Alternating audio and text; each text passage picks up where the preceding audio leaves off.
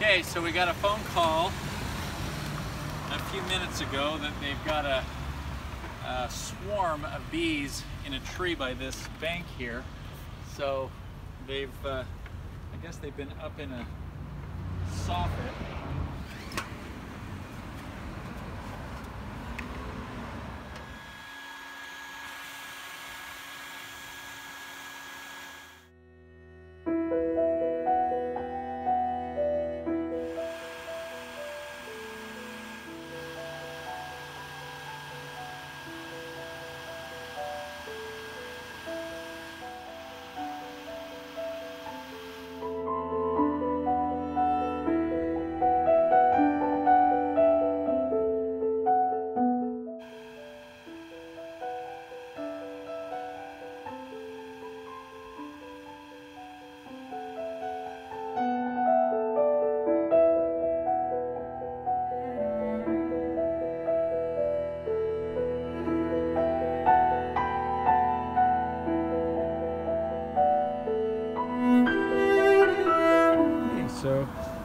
we got our swarm that somebody called us about.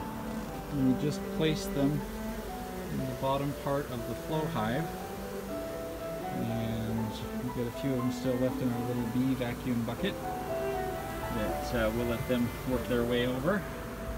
But they're seeming pretty busy and getting settled in.